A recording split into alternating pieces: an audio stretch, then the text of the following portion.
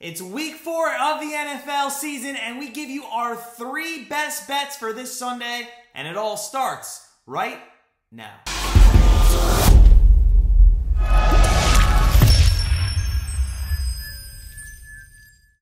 Hey guys, it's Matt from GrandstandBettors.com. The NFL landscape is starting to take shape after week three. We have three more of our best bets for this week, but first, if you're new to Grandstand go ahead hit that subscribe button. Make sure you don't miss any of our free picks, free predictions all NFL season long. While you're at it, smash that like button if you are finally ready for some Sunday football. It's been a long week, but it is finally here, and we get to watch another fun filled afternoon of NFL football. So, without further ado, let's dive in to our best bets of week number four in the NFL. And the first game we're going to look at is between the Tennessee Titans and the New York Jets. This game is at 1 p.m. Eastern. The Titans, they're favored by six and a half points in this one. The over-under is also set at 44 and a half. Titans coming into this game 2 and 1 on the season, and their offense got ripped by the media after a week one loss to the Cardinals, but it looks like they're on the right track after getting a win in Seattle and at home against the Colts. On paper, the next two weeks, they get to play the Jets and the Jags. Bunch of cupcakes, in our opinion, but that's why we play the games, and we'll see if they can continue their recent success. Now, Ryan Tannehill has had a very mediocre start to the season, throwing for about 750 yards and four touchdowns, but he's also thrown three interceptions, including two last week against the Colts. With the big addition of Julio Jones in the offseason, hopes were high for a dynamic and vertical passing game. However, with the exception of the game versus the Seahawks, where Julio did have six catches for 128, the Titans have really utilized the entire arsenal of weapons at receiver. In each game this season, Tannehill has completed a pass to eight different receivers, and even in the last game, he targeted 11. This is going to be more in the same this game. A.J. Brown is nicked up. Julio Jones is a little nicked up, so expect sprinkling of the football to many different receivers throughout this game.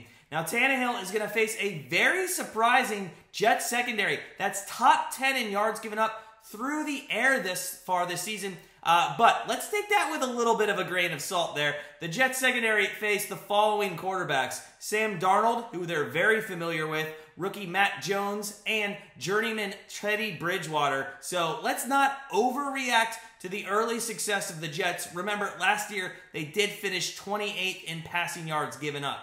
Now, this team only goes as far as Derrick Henry takes them, though, after a dismal performance in week one where the Cardinals bottled them up for 58 yards on 17 attempts. He has righted the ship and come back uh, with back to back 100 yard rushing games, including a massive 35 rush uh, for 182 yard, three touchdown performance against the Seahawks in Seattle. He's going to be going up a very middle of the road road defense here, uh, a road rush defense again with the Jets, and we expect him to eclipse probably 100 yards again very easily, as the Jets are giving up 110 yards on the ground per game. Now, with the Titans having seemed to forget about Week One loss and averaging 30 points a game in the last two weeks, we can easily see the Titans putting up four or five touchdowns against this very bad Jets football team. Speaking of those Jets, though, many people had high hopes that Zach Wilson would be the savior of New York, but three games in, that hope may already be gone. In his first game against the Jets' former QB, he actually performed pretty decent. He threw for 258 yards, two touchdowns, and only one INT, although he nearly had 50% uh, completion rate. But things went from good to bad to worst real fast. He threw four INTs against his rookie counterpart, Mac Jones, in a 25 6 loss to New England, and threw for two more INTs against Teddy Bridgewater and the Broncos. His completion rate is awful. He has thrown less yards each game, and he's thrown seven total INTs. And the Jets haven't been in the end zone since week one. Don't even get us started on their rushing game. They're averaging 80 yards on the ground, and they have no running back who's ever eclipsed over 59 yards in a game this season. Meanwhile, the Titans' rush defense this season has been very good, only allowing 100 yards on the ground and giving up four rushing TDs all season long. So, what's the good news? Well, the lack of being able to establish the run, Zach Wilson's going to have to throw the ball nearly probably 40 times in this matchup. In this game, the Titans secondary, they're ranked in the bottom half of the league, giving up 259 yards per game through the air, and they gave up 320 the last time they went on the road. Now, don't get us wrong. We're not saying Zach Wilson's going to go for 300 plus yards in this game, but the Jets should be able to move the football a little and finally find the end zone. This is going to be an interesting game. Most, uh, if not everyone, probably going to throw money on the Titans to cover that six and a half spread. But if we didn't learn anything from Thursday Night Football where the Jags covered easily against the Bengals, we should for this game because it's possible Zach Wilson and company puts it all together. He's gone up against the best defense of the league. Bill Belichick had to play in uh, Mile High Stadium, or he went up against the best uh, defense in the league with the Panthers. He played against Bill Belichick, and he had to play in Mile High Stadium. So he has had some tough situations here. At home this week, we think against a medi- mediocre secondary, he'll be able to actually move the ball. We like this to be a much more high scoring affair than you would think it would be. So, our first bet of week number four is the New York Jets and the Tennessee Titans over 44 and a half. Now, the second game we're going to look at is the Dallas Cowboys versus the Carolina Panthers, also 1 p.m. Eastern time slot. Cowboys favored by four points, and the over under is set at 51.5.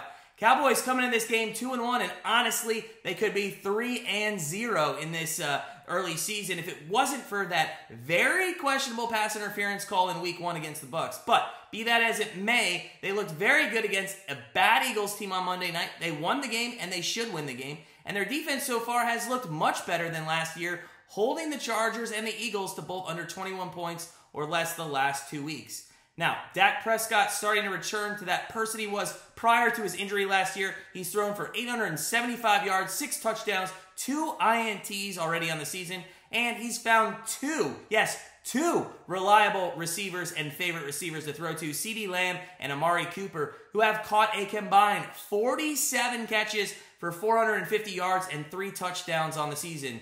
Now, the rush game has not gotten off the ground, no pun intended, as expected with Elliott in the backfield through three games. Elliott still hasn't been able to eclipse that 100 yard rushing mark.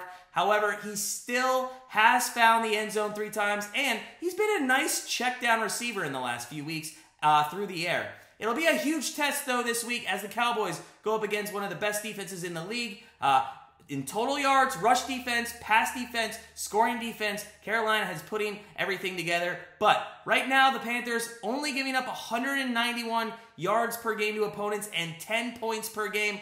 Ugh, it could be rough for Dak. However, the Panthers coming in at 3 0. It looks like at the moment, Sam Darnold was not the problem in New York. Uh, but let's not overreact again. It's not overreaction uh, week number four here. Let's not overreact uh, because they have been very good on the de- defensive side of the ball and haven't played that many great opponents. Two out of three wins came against awful opponents. Uh, they beat a really bad Jets team in a revenge spot for Darnold against his old, uh, his own replacement there, and they beat a Texans on Thursday night football team uh, or Thursday night football game with Davis Mills playing at quarterback. Cowboys offense, they're going to be on a different tier than everybody else that they've played so far. So their defense, uh, we'll have to see how they hold up. I know they're number one in the league right now, but could be different story come Monday morning. Sam Darnold, though, has played great so far this season, very well at managing the game and not making those critical mistakes. He's thrown for 700 yards in the season with three touchdowns and only one interception. But with the injury coming to Christian McCaffrey last week against the Titans and Chuba Hubbard having to fill the backup spot there, it should be interesting and an exciting opportunity to see if they let Sam Darnold loose or let him still have to play conservatively. Chuba Hubbard rushed for 52 yards and had three catches for 27 yards after replacing CMC, but will be facing a much improved Cowboys defensive front, one that's limiting teams to 70 yards on the ground, including Jalen Hurts to only 35 rushing yards on the Monday Night Football game. The secondary, which is not improved for Dallas, maybe it's actually probably gotten worse. Uh, gives up the second most passing yards per game through the first three weeks, 331, but it's a bend not break defense and it's working well for them. The Cowboys are actually leading the league. They're first in average in takeaways per game at 2.7. So the bend not break is working and they're keeping teams to low enough points to get Dak an opportunity to win games. Sam Darnold, most likely, he's going to have to throw the ball, give the Panthers a chance to win this game, but can you trust Darnold without the likes of CMC as a threat against the defense? We look for the Cowboys to continue having great success offensively, and without the most dynamic weapon on the field for the Panthers, we think Sam Darnold and company are finally in for a game that might be bigger than they can handle. So, our second pick of NFL week number four is the Dallas Cowboys minus four over the Carolina Panthers. And our final pick, week number four, we're going to look at that awesome Sunday night football matchup between Tom Brady and the Tampa Bay Buccaneers and Bill Belichick with his rookie quarterback, Mac Jones, and the New England Patriots. Over under set at 49 and a half, and the spread is minus seven to the Bucs. Patriots one and two coming into this game. Their only win coming in week two against those awful Jets. They've given up 51 points this season. That's best in the NFL. But the Bucs offense is a whole other story compared to the Dolphins, Jets, and Saints. Their secondary ranks second in the league, which will be a good test against a very pass-heavy Bucs offense. But Brady's not stupid. When he sees a team's weakness, he's going to exploit it. And their run defense is giving up 122 rush yards per game, which is ninth worst in the league. We are sure Brady will be fine with handing the ball off to Fournette or Bernard until the Patriots make the right adjustments. And then at that point, he's going to most likely start shredding the secondary. So it's imperative that the Patriots win the battle in the trenches defensively early to keep the game close. Now, offensively, the Patriots passed on Cam Newton and decided to go with that rookie quarterback, Mac Jones. He's thrown for 737 yards, two touchdowns, and three INTs, which is kind of all right for a rookie. Jakobi Meyers has been his favorite target so far. He has hauled in 19 receptions on 29 targets and leads the team in receiving yards. Free agent signings, Nelson Agholor and Hunter Henry both have over 100 yards receiving as well. So they have the pieces around Mac Jones and the defense to put together a solid team, but it really all relies on Mac Jones' play. The Bucs, on the other hand, do not have to worry about who's playing quarterback for them. Brady looked phenomenal in his 22nd season, already throwing for over 1,000 yards and 10 touchdowns. As we mentioned already, it's a very pass-heavy team, and honestly, why would you not be when you have Mike Evans, Chris Godwin, Gronk, and Antonio Brown to throw to. They are second to last in the NFL, however, in rush yards per game with 56 a game. But it's not because of the lack of skill at running back or a weak offensive line. They just really don't run the ball. They will most likely right run a little bit here, given how good New England's secondary is and how poor their run defense has been. But Brady is definitely gonna not be. He's not gonna be scared to throw it at Foxborough for sure. Defensively, though, the Bucs are almost the exact opposite as the Patriots. Their run defense ranks fourth in the league, while their pass defense ranks dead last. Mac Jones is going to have to throw the ball a lot in this game, which leaves the door wide open for some more rookie mistakes. The Bucs most likely going to dial up blitz packages and put a lot of pressure on Jones, so uh, on Jones, so he won't be able to be comfortable in that pocket and force them to run it more against that great Bucs front seven. Now, it's a very anticipated game this season. Brady returning finally to Foxborough for the first time since leaving New England. And although it probably won't be a close game, the NFL knew what they were doing putting this on Sunday Night Football to jack up the viewership.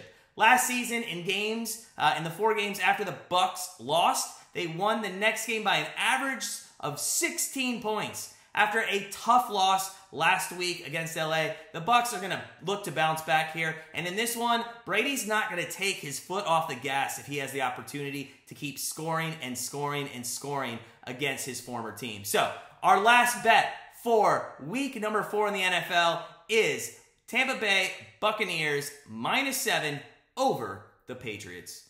That's it, guys, for us here at Grandstand Bettors. We're going to be live streaming, remember, the Browns-Vikings game at 1 p.m. We'll also be uh, looking in on the Red Zone channel and keeping everybody up to date. But we'll do play-by-play of the Browns game and the Minnesota Vikings game at 1 p.m. this Sunday. Make sure you come check us out, hang out with us, do some live betting, and uh, it'll be a good time all around. But uh, as always, sit back, relax, enjoy NFL week four, and we'll see you next week.